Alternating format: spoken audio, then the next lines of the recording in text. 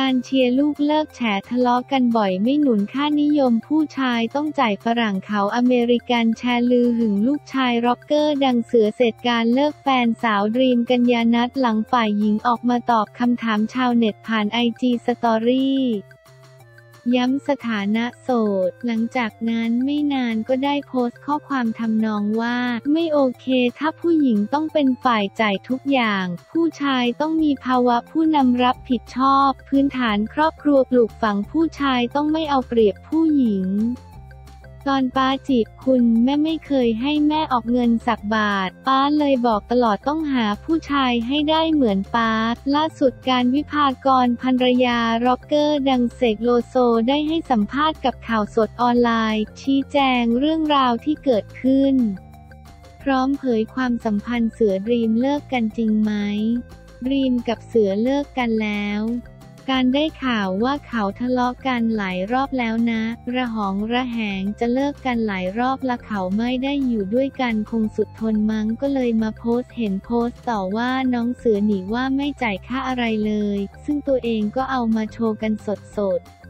ว่าเสือโอนเงินให้สารพัดแต่ก็อย่างว่าแหละมาโพสต์ประมาณว่าพ่อแม่เขาไม่ให้ผู้หญิงออกค่าอะไรเลย ผู้ชายต้องเป็นคนออกให้ผู้หญิง การที่คุณโพสต์คำนี้มันหมายความว่าอะไร ไม่ได้หมิ่นประมาทนะมันหมายถึงตัวคุณเองจะเสียหายไปแล้ว รวมถึงครอบครัวเขาเรียกว่าครอบครัวสอนให้เกาะผู้ชายกินหรือเปล่า อันนี้แค่ถามนะลองไปอ่านดูอีกอย่างหนึ่งก็เห็นด้วยกับเสือว่าเขาคงไม่ได้อย่างที่มุ่งหวังไว้ แต่การไม่ได้พูดในฐานะที่เขาเป็นลูกการนะ คือในความจริงน้องเสือเขาอยู่อเมริกานะ คือเขาเป็นฝรั่งเขาอเมริกันแชร์ทำอะไรก็ต้องแชร์กันหมด เขาไม่จำเป็นต้องมาออกอะไรคนเดียวหมด แต่ว่าทางนั้นมาบอกว่า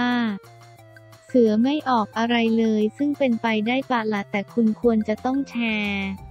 ผู้หญิงที่เกาะผู้ชายกินหรือคิดว่าผู้ชายจะต้องเลี้ยงตลอดเวลา ตอนนี้ค่านิยมของคนไทยเป็นแบบนั้นไม่เหมือนต่างชาติต่างชาติเขาเป็นแฟนกันเขาต้องอเมริกันแชร์นะ ส่วนใหญ่ทะเลาะกันเรื่องเงินมีเรื่องอื่น ๆ ที่ทำให้เลิกกันอีกไหม ล่าสุดคิดว่าเรื่องเงินนะคะแอบเป็นห่วงลูกชาย โอ้ยมีเรื่องก็เป็นห่วงโกรธกันทะเลาะกันก็ห่วงตลอดเวลา 24 ชั่วโมงไม่เว้นแม้วินาที เพราะเขาเป็นลูกการรักของการมากปากบอกเสือและกวางว่าแม่จะถอนฟ้องทุกคดีเลย ขอให้สบายใจได้ไม่ต้องห่วง ไม่ต้องกังวลเครียดการไม่มีข้อแม้นะยอมรับผิดทุกอย่างคนเดียวการขอเริ่มต้นใหม่แล้วก็จะถอนฟ้องทั้งหมดครั้งสุดท้ายครั้งเดียวแม่ไม่เคยขออะไรแม่ก็จะถอนฟ้องทั้งหมดเร็วๆนี้ทุกคดีค่ะ ตอนนี้เสือและกวางยังไม่กลับบ้าน ยังค่ะแต่ก็มีคุยกันบ้างเล็กน้อย แต่ก็อยากให้กลับบ้าน ในส่วนตรงนี้จะถอนฟ้องดรีมด้วยไหม ไม่เกี่ยวสิคะทำไมต้องถอนอันนั้นไม่เกี่ยวกับกานต์แค่คนที่กานต์แคร์ให้ได้ทุกอย่าง คือเสือกับกวางและลอนดอนไม่ใช่คนอื่นค่ะใน TikTok บางคนบอกว่ายังไม่เลิกกัน สรุปตอนนี้เลิกกัน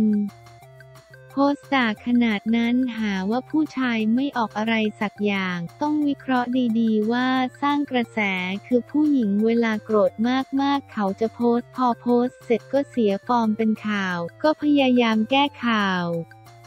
อไม่รู้จะไปทางไหนก็บอกว่าไม่ได้เลิกกันเหมือนเดิม ซึ่งเขาอาจจะทะเลาะกันมาหนักมากในช่วง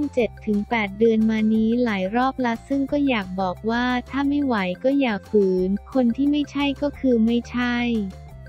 แล้วที่มาโพสต์ว่าเสือไม่ออกอะไรเลยให้แต่ผู้หญิงออกเขาก็บอกว่าบ้านเขาไม่เคยสอนให้ผู้หญิงออกอะไรเลย ผู้ชายต้องเลี้ยงผู้หญิงทุกอย่าง ทัศนคติค่านิยมนี้มันผิดมากไม่รู้ส่งมาตั้งแต่ยุคดึกดำบรรไหน เพราะสมัยก่อนหรือสมัยไหนไหนการยังไม่เคยรู้เลยว่า ผู้หญิงจะต้องไม่ทำงาน สมัยชาวนาชาวไร่คนจนเขาก็ไปทำงานช่วยกันผัวเมียไม่ใช่ว่าไม่ทำอะไรเลย เวลากินก็ต้องแชร์กันอย่างการก็ต้องทำงาน มิงั้นเสกจะให้เงินการเปล่าไม่มีทางการทำงานแลกเงินไม่ได้เกาะเสกกินอยู่แล้วนี่พูดได้เต็มปากร้อยเปอร์เซนต์พี่เสกคนเดียวเท่านั้นที่รู้ว่าความจริงคืออะไร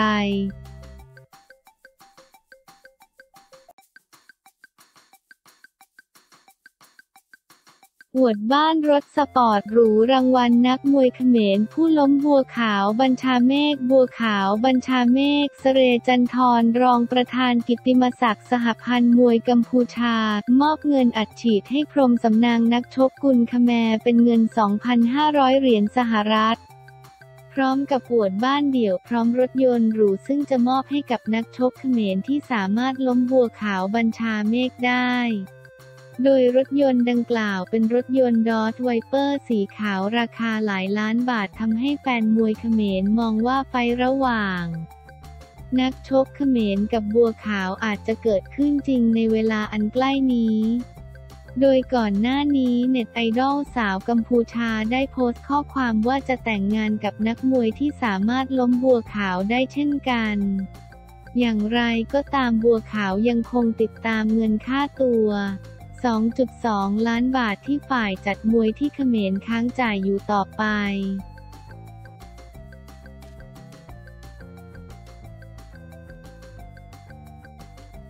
64 วินาทีพอเจ้าเงาะไล่ถลุงมวยเขมรชนะน็อกยกแรกศึกวันลุมพินีคลิป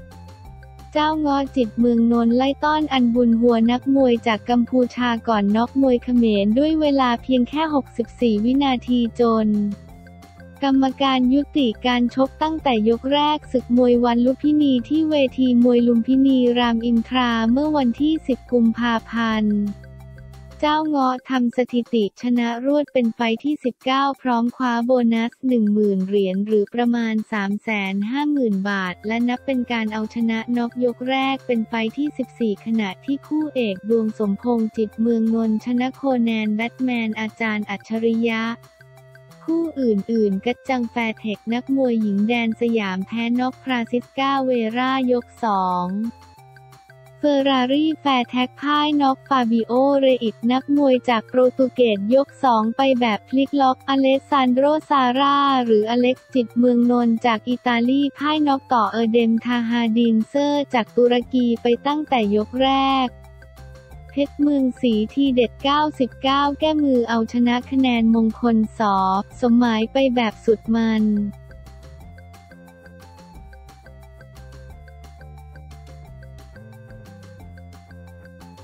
กรมบังคับคดีแจงหญิงมีหนี้แค่ 2.5 แสนบาท ก่อถูกยึดที่ดินกว่า 11 ไร่กรมบังคับคดีแจงกรณีหญิงชาวเชียงรายเป็นหนี้แค่ 2.5 แสนบาท ถูกยึดโฉนดที่ดินขายทอดตลาดไปแล้วสองแปลงจ่อโดนอีกหนึ่งแปลงรวมกว่า 11 ไร่ วันที่ 10 กุมภาพันธ์ 2566 นางทัศนีเปาอินอธิบดีกรมบังคับคดีชี้แจงหลังหญิงชาวจังหวัดเชียงรายหอบเอกสารร้องขอความช่วยเหลือเนื่องจากไปกู้เงินบริษัทชื่อดังแห่งหนึ่ง แต่ขาดส่งจนถูกกรมบังคับคดียึดโฉนดที่ดินขายทอดตลาดไปแล้ว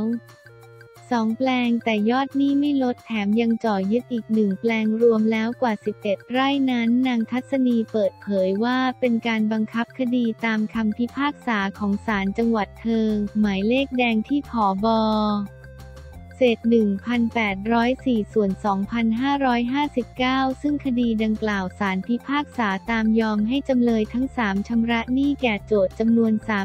375,458 บาท พร้อมดอกเบี้ยอัตราร้อยละ 15 ต่อปีของต้นเงิน 267,500 บาทนับแต่วันฟ้องเป็นต้นไป จนกว่าจำเลยทั้งสามจะชำระเงินให้แก่โจทย์เสร็จสิ้น โดยมีเงื่อนไขการผ่อนชำระตามที่โจทย์และจำเลยทั้งสามตกลงกันในสัญญาประนีประนอมยอมความ หากผิดนัดจำเลยทั้งสามยอมให้โจทย์ยึดที่ดินโฉนดเลขที่ 25,903 ตำบลงิ้ว อำเภอเทิงจังหวัดเชียงรายของจำเลยที่หนึ่งออกขายทอดตลาดหากได้เงินไม่พอให้ยึดทรัพย์สินอื่นของจำเลยทั้งสามเพื่อชำระหนี้ให้ครบถ้วนต่อมาโจทย์ได้มาแถลงต่อเจ้าพนักงานบังคับคดีว่ายังไม่ได้รับชำระหนี้ พร้อมขอให้เจ้าพนักงานบังคับคดีดำเนินการตามคำพิพากษาโดยการยึดที่ดินโฉนดเลขที่ 25,903 ที่มีชื่อหญิงชาวเชียงรายเป็นผู้ถือกรรมสิทธิ์ตามที่เป็นข่าว ซึ่งเป็นจำเลยที่หนึ่งในคดีออกขายทอดตลาด แต่ปรากฏว่าการขายทอดตลาดที่ดินแปลงดังกล่าวยังไม่พอชำระหนี้ โจทก์จึงได้ดำเนินการบังคับคดีตามคำพิพากษาต่อไป โดยขอให้ยึดทรัพย์สินของจำเลยที่หนึ่งเพิ่มเติมคือที่ดินโฉนดเลขที่ 28,257 ตำบลนิ้ว อำเภอเทิงจังหวัดเชียงราย ออกขายทอดตลาด แต่เนื่องจากที่ดินแปลงดังกล่าวติดจำนองสถาบันการเงินแห่งหนึ่งทำให้เงินที่ได้จากการขายทอดตลาดยังไม่พอชำระหนี้โจทย์และยังมีหนี้คงเหลือ ซึ่งโจทย์อาจขอให้เจ้าพนักงานบังคับคดีบังคับคดีตามคำพิพากษาต่อไปโดยการยึดทรัพย์สินอื่นของจำเลยทั้งสามได้อีก อันเป็นขั้นตอนตามกฎหมายที่เจ้าพนักงานบังคับคดีจะต้องดำเนินการ นางทัศนีกล่าวต่อว่า ทันทีที่ทราบข่าวความเดือดร้อนกรมบังคับคดีได้เร่งให้ความช่วยเหลือ โดยมอบหมายให้นายกฤษดาทาจินา ผู้อำนวยการสำนักงานบังคับคดีจังหวัดเชียงราย สาขาเทิงประสานนัดทุกฝ่ายที่เกี่ยวข้องเพื่อหาทางออกร่วมกันโดยการเจรจาไกล่เกลี่ยข้อพิพาทในวันที่ 13 กุมภาพันธ์ 2566 เวลา 10 นาฬิกา ณ สำนักงานบังคับคดีจังหวัดเชียงราย สาขาเทิงกรมบังคับคดีให้ความสำคัญกับการไกล่เกลี่ยข้อพิพาทชั้นบังคับคดีมาโดยตลอด